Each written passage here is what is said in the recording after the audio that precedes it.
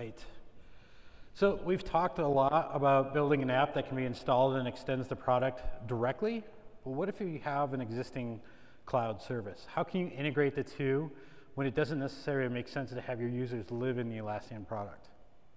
So in this talk, get into the flow with the OAuth 2. We'll learn about a lot about uh, what we talked about at the keynote earlier this morning about how to use OAuth 2 authenticated code grants to enable users to integrate with a cloud service.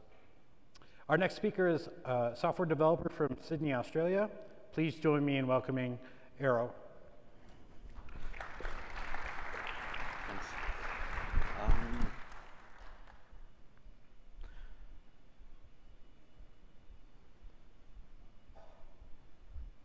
there's a thing. Something's missing. Just, just a minute. Uh,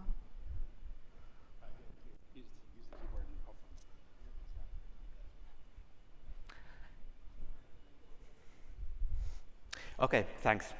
So I'm Eero, and I'm going to give you give you a talk about OAuth 2 and specifically about about um, the authorization code grant flow for OAuth 2, also known as 3LO.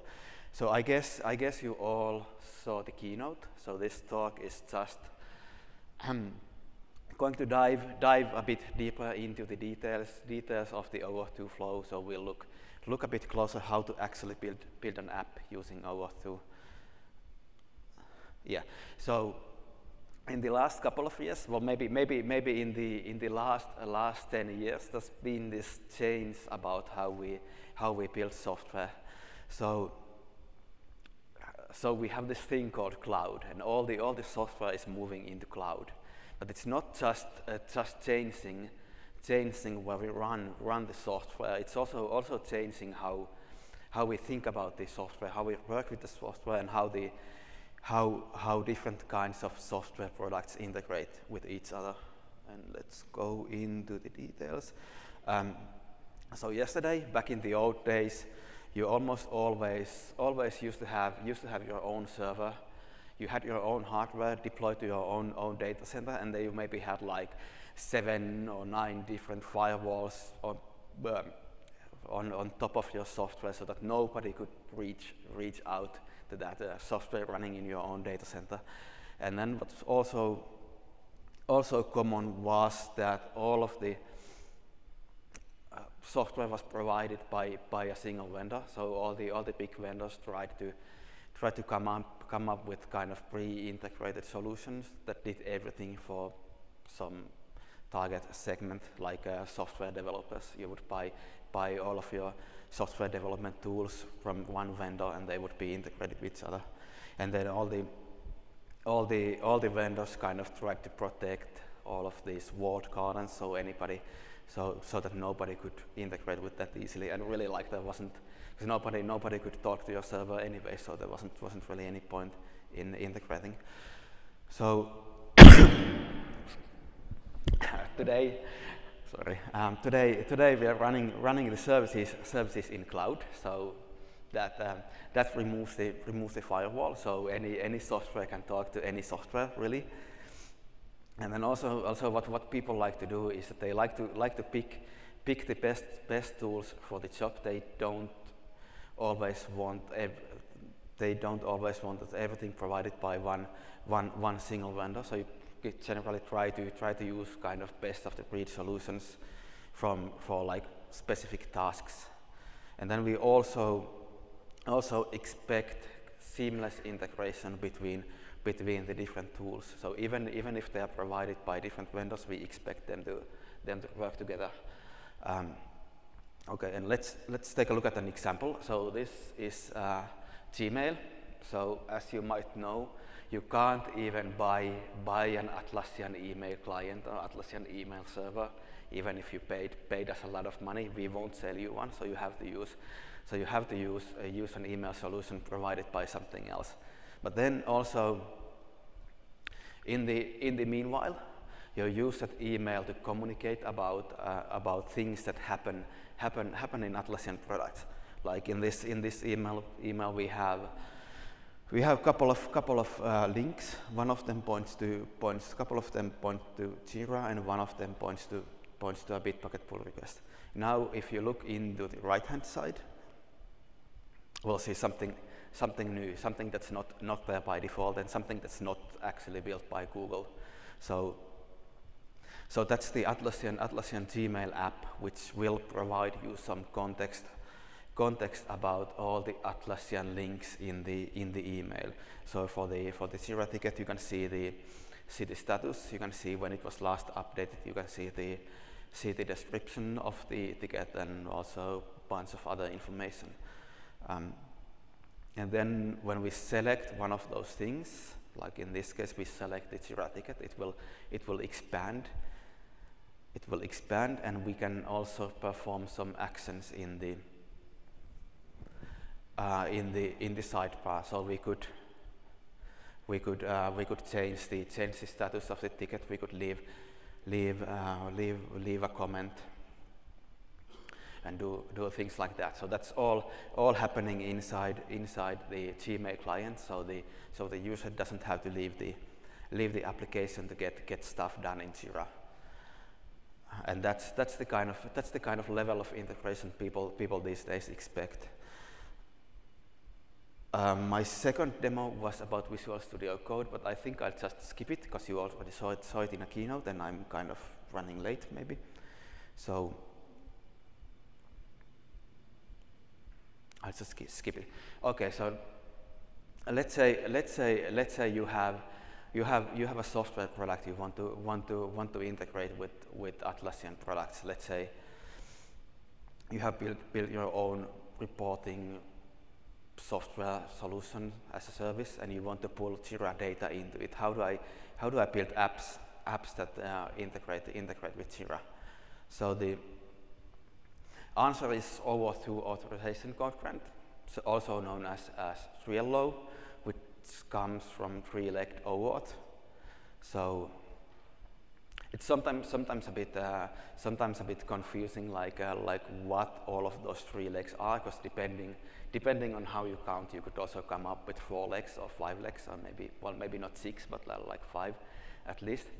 But um, usually usually uh, these are the three legs. So you have you have you have a resource owner. So that's uh, that's somebody somebody who owns a resource. So in the in the case of the Jira Gmail integration, that's that's a user who has access access to Jira. So they they have access to stuff in Jira. Um, and then you have you have a resource. So that's the that's the thing being accessed. It's uh, it's um, usually it's a, it's, it's a REST API, but like they really like the resource is that data, data behind the REST API.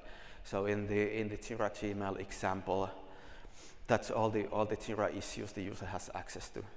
And then you have a client, and this client, uh, client, client is your app, basically.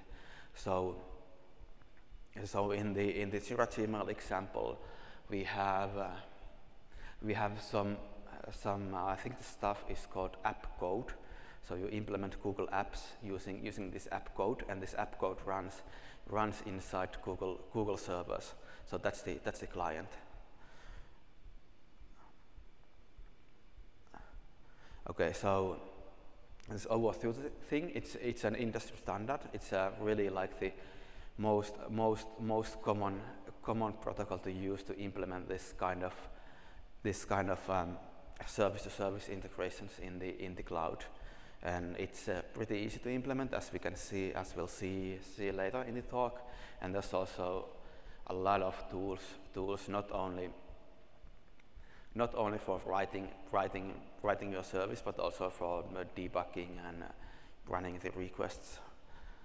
Um,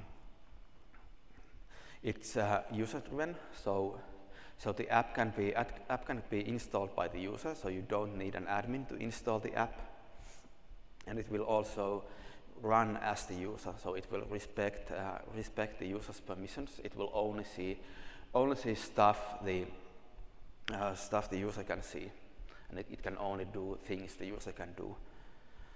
Um, okay, so you have seen Ralph's talk about Connect. So at this point, you might be kind of wondering, uh, like, what's the what's, what's, what's the difference between 3LO and Connect? Connect like, like both are ways to, ways to add, build apps, apps for Jira. So In 3LO, we have user consent, so the user has to give access to their data, their resources. And in Connect, we have we have the admin who installs the app and then grants the access. By installing the app, grants the access to all the things in the in the site they installed the app to. Um, 3LO runs as the as the end user, so it will execute using the end user's permissions. It will only see stuff the end user can see.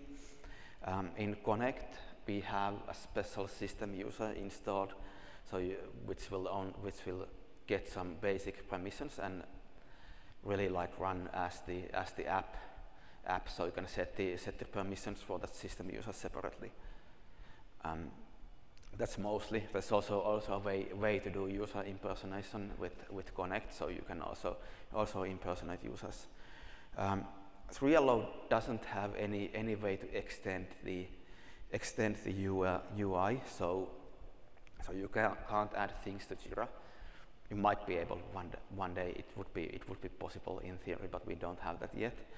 Um, in Connect, you can specify specify extensions in the in the app descriptor but that's that's static. So you have to know you have to know beforehand what what kind of extensions you want to add. Um,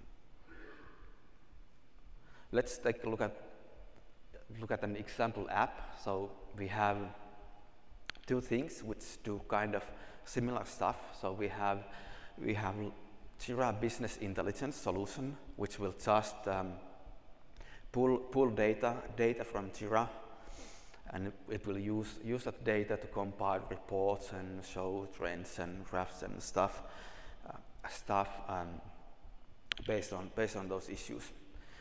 Um, so that would be that would be a good good 3LO app. So that's um, that's a complete standalone solution. So so if the user is using using that app using that app, they don't have to touch Jira at all. So that, that app will just pull data from Jira in the background and display that data in some different formats, in some different UI. Um, and then we might have might have might have like a Jira statistics app. So that app could could show show things like issue view counts, um,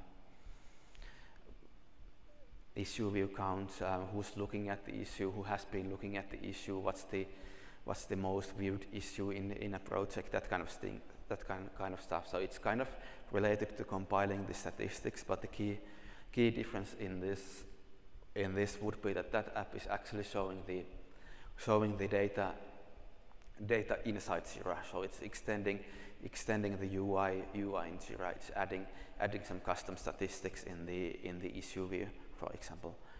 So so really like the main, main, main, main difference between, between like when when to use 3LO and when to use Connect is the, is the direction. So 3LO is, is, um, is for displaying, is for accessing Jira data outside Jira and Connect is, is for, for accessing, accessing, accessing this data, accessing the features of, of your third-party product inside the Jira UI. So that's the main, main difference. Okay, so next, uh, next we'll take a look how the how the authorization code grant flow works, how how you would actually build build an app. So um, so we have we have the three legs again: the client, the user, and the resource. And you kind of read this from bottom to top. So so we start with the with the client asking the permissions permission from the user to access access some data. So that's the first step. First, the first the user will have to give, give permission to access, access some data. And once, uh, once, once the user has approved, we'll get, get back, back an access code, and then using that access code, we can get, uh, uh, sorry, we get back an authorization code, and then we can exchange that authorization code into an access token, and then in the last step at the top, we can use the use the access token to access the resource to hit, hit and REST API. Okay, so let's expand this a bit. So now, now we are looking at all the, all the steps, all the steps you have to complete to build, build a simple app. So First, we'll be creating, creating an app in, in app management in developer.atlassian.com. Um, and then once we have an app, we have to we have to create an authorization URL. So that's the URL where we'll send the end user to get the get the consent. Um, and then once we have the consent, we'll get back an authorization code. And then, as I already mentioned, um, using the using the authorization code, uh, we can get get an access token. Um, and then we have a special Atlassian specific step. So I'll explain this a bit more later, but um, when we have the access token, we don't at this point know what, what we can access using, using that access token, access token. So we have to check what kind of access we get using that access token. And then once we know that, we can call, call an API.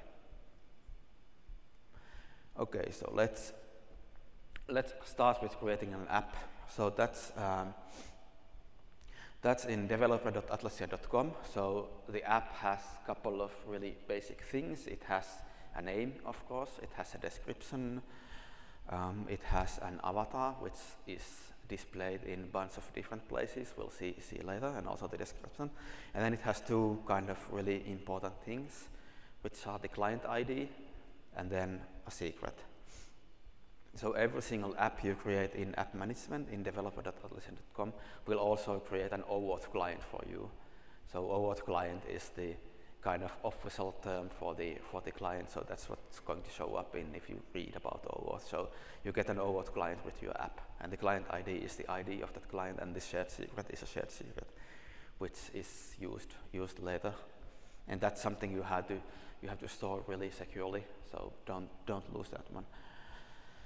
Um, and now that we have an app, like rest of the flow, rest of the flow can be completed pretty much manually, even even using using using the browser, using some command line tools, and that's actually what we do in the example.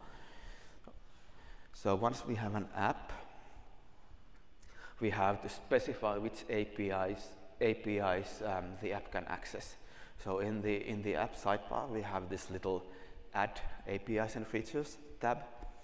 So we'll just click that and we get we get a list of all the all the APIs available. It might look a bit different for you. Some of these things are still not public and some of them might be might be might be going away at some point. But anyways, it's it's a list of all the all the APIs available.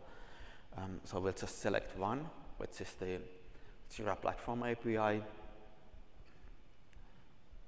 And then we get we get we get a list of scopes. So this is pretty much the same same thing as it was with Connect. So each REST API in Jira is is associated with, with, with some scopes.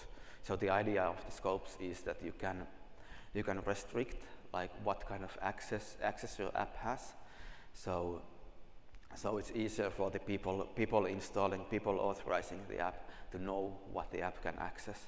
So they might, if, for example, if you don't have to, if you don't have to write, write anything, you might want to leave that scope out, and then people might be, people might be a bit, bit more happy to give, give your app, app access to that instance if they know it won't be able to change any stuff and it won't, it's, uh, yeah, so only, only select all the, all scopes you need, don't just pick all of them. Um, and then we have one extra thing. So we have to specifically enable 3LO for the app. So that's called authorization code grants down in the in the bottom. So we'll just select that one. Um, and then we need need a tiny tiny bit of configuration. So so we need some kind of way to send the access token token back to your app, and we use this thing called callback URL for that. So this this URL should be pointing back to your app. So when the when we when we um, well we'll see that later, but basically you'll get the access code in the in in a URL parameter in this URL, and then you have to have to pick that up and you use it. But if you do it, if you just want to play play around with things, you can do this in in, in your browser without having like a real server up somewhere. So you can just use localhost or something for the callback and just copy, copy the access token from there. Okay, so the next configuration bit is the authorization URL. So this is actually something you can, we have, we have an example in app management, so you can just copy, copy, copy from app management. But I'm just going to show how it looks like. So this is the URL where we send the, send the user to give the, give the consent, consent to access, access the app. So so again, if you just want to try it locally, you can just open, open, open up the URL in, in the browser, and then that's, that's it. If, if you're building a real app, you have, to, you have to pop up a new window and then point that new window into the URL. So, um, so the URL has a bunch of stuff. Most of it comes from the OAuth spec and is kind of, kind of mandatory. Some of it is a bit Atlassian specific, but still, still mandatory. It's all, all are documented in the doc, so I won't go into too much details. So we have audience, that's api.atlassian.com. That's the new API gateway we have. So, um, and then we also have the client ID, which is the client ID we got from the previous screen. And then, then we also have to specify the scopes, scopes we want to want to ask for. So every time we send the user through the through the consent flow, we can ask for different scopes. And then we also have to how to specify the redirect URL.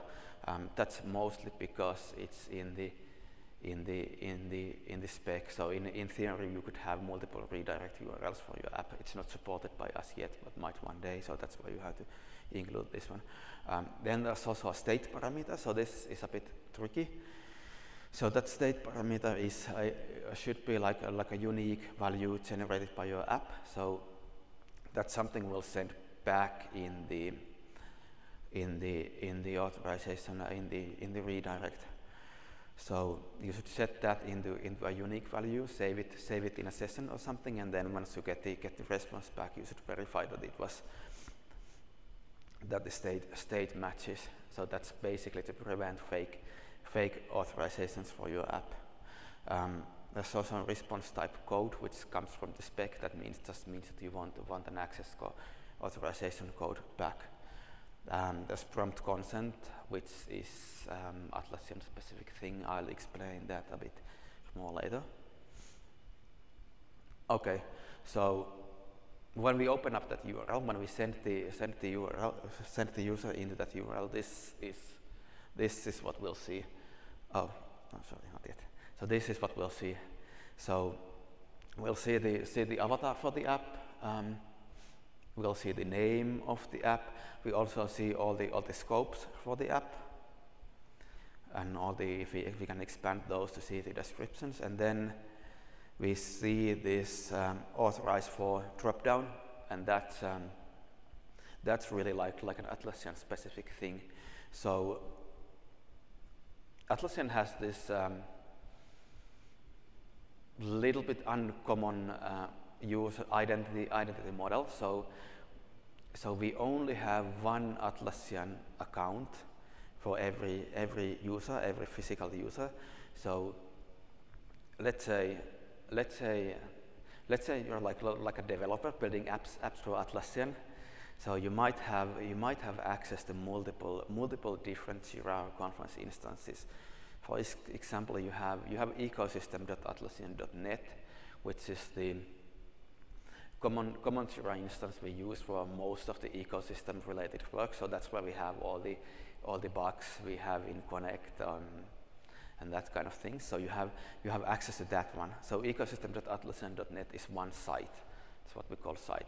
And, the, and then you might also have, so if you're building an app, you might also have your private private Jira instance like mycompany.atlassian.net and you do all, all your private work on that, on that instance.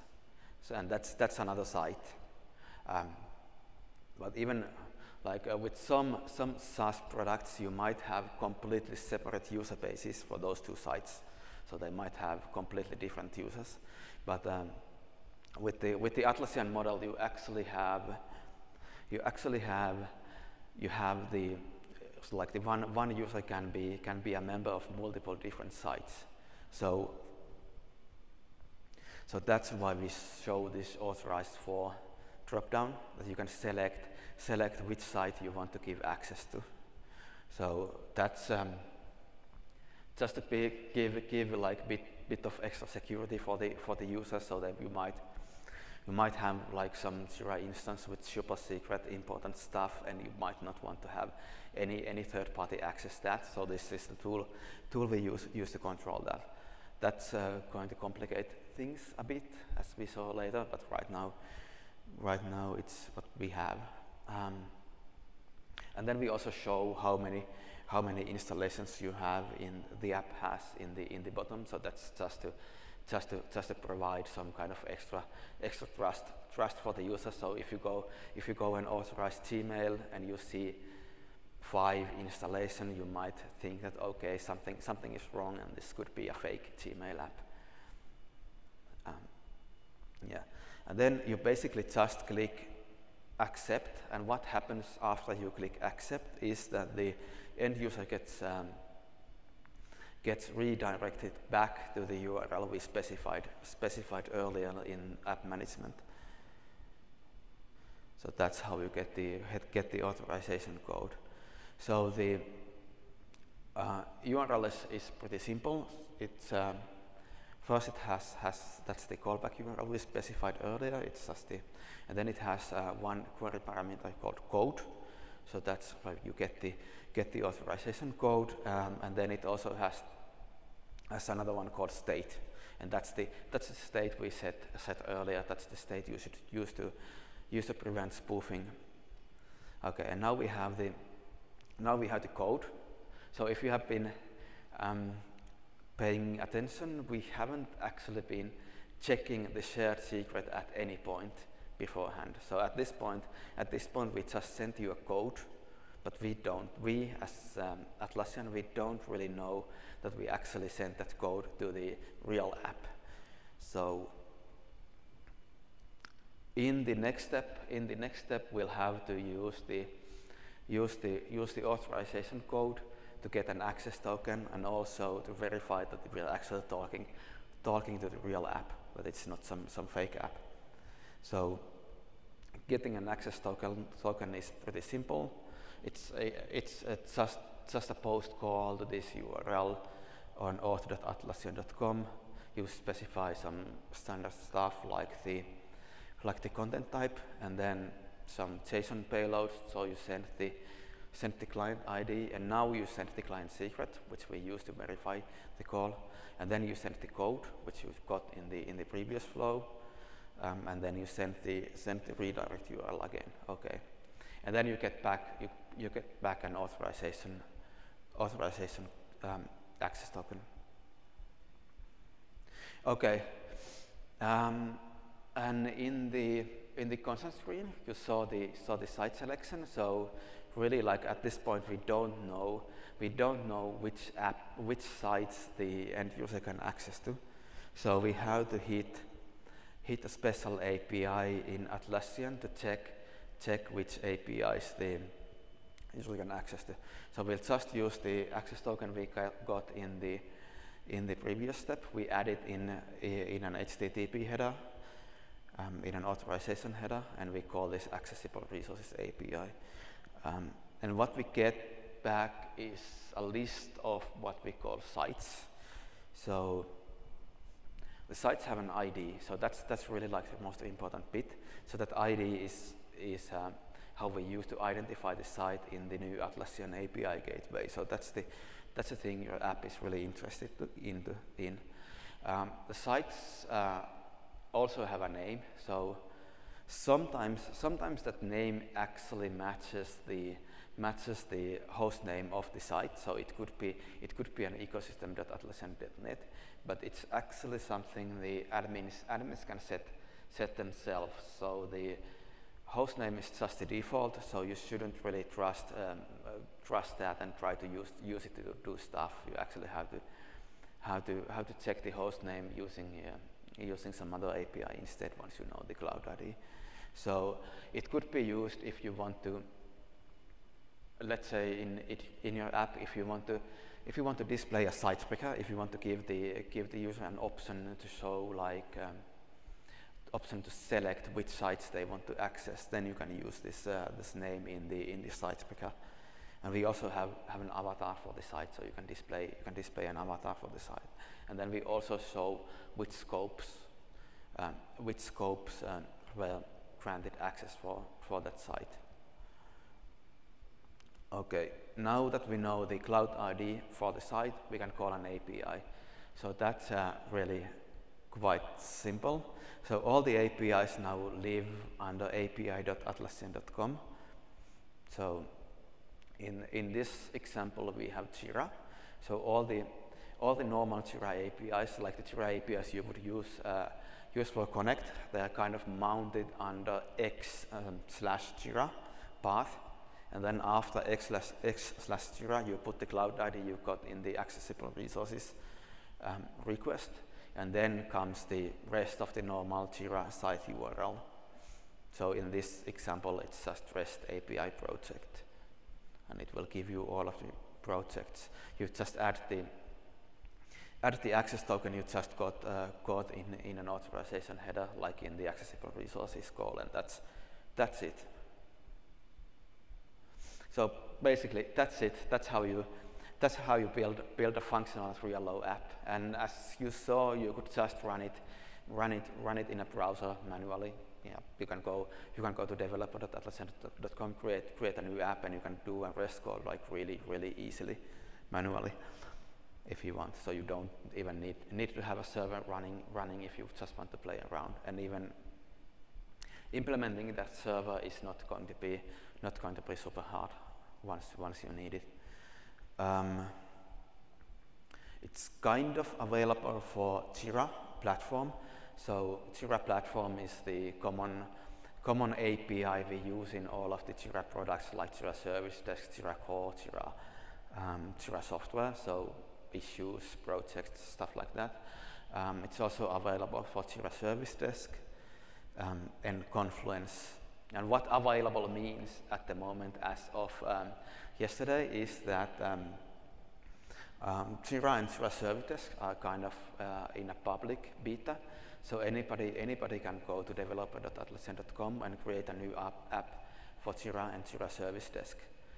So you can, you can start writing new apps. But if you want to make, make your app public, um, so that uh, somebody else can uh, can uh, can install authorize your app you have to you have to open open up a ticket ticket with us and then we'll do some kind of review. Um, and Confluence uh, Confluence is uh, still I think in in private beta so you have to actually be in touch touch with us if you want to want to use the Confluence API using um, using 3LO, but we'll probably give you that access and it will probably be available for everybody real soon. And also like the restriction about making the apps public will go away soon, I hope in like a couple of weeks or so. Okay, a couple of more things. So as, um, as I mentioned before, um, like the 3LO apps are actually installed, installed by users, so there's no admin involved in any of this. So we have a couple of kind of extra things to make make sure this access is somehow under control that you can you can use this stuff securely. Um, so the end, end users themselves have this new connected app tab in the in, in their profile. So that's um, that's going to give give them give them a list of all the all the apps they have granted access to in their on uh, on basically on, on any of the sites um, you can also remove the access, you can get some details about which scopes are selected.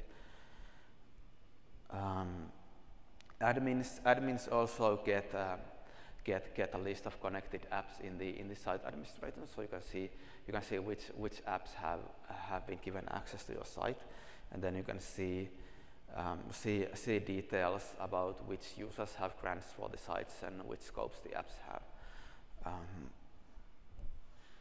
I have one more thing, a couple of Atlassian specific disclaimers. I'll just run this through really quickly because I'm running out of time. So this I explained already in more detail. So we have multiple sites. Some users may have more than one site. Um, I can't remember the exact statistics, but it's something like 95% of the users have just one site, and then 5% might have more than one. So most of them have only one, but really, like you should be able to handle the case where they have have more than one. Um, the grants are account-wide, so uh, site-wide. Sorry, so we, we only give access to one one site at a time. So that's a bit different from from from some other solutions and kind of as a consequence, different sites may have different levels of access. So if you have one version of your app that only needed read access to stuff, some user might go, go through that flow for one site, and then you have then you have um, next version of the app that also needs write. The same user might go through that flow, but on a different site. So you can have kind of mix of a mix, a mix of scopes on different sites. It's a bit of an edge case, but um, just something to be aware of. Um, tokens can expire, so uh, you can, so you can use this special offline access scope to get, get a refresh token, which you can save, save securely in your app, and then you can use that refresh token to get, get a new access token without sending, without sending, sending the user through the flow again. Yeah, and you should save the refresh tokens securely. They don't expire at the moment, so don't, don't lose them. Um, scopes can be flexible, so, so like I mentioned, different sites can have, have different scopes if the app hasn't been asking for all the scopes for all the sites all the time. Um, and then also something to know is that the scopes are additive. So if you send the same user through the consent flow again, again we'll just keep on adding adding new scopes. So so all of the if you send if you send send the user with uh, with just read. For the first time, you get read, and then if you send them with the just write for the second time, they still have both read and write. So if you want, want to get rid of all the old scopes, they, like the only way to do it at the moment is for the end user to delete, delete, uh, uh, remove the authorization for that app. But really, I guess that's that's more of an edge case.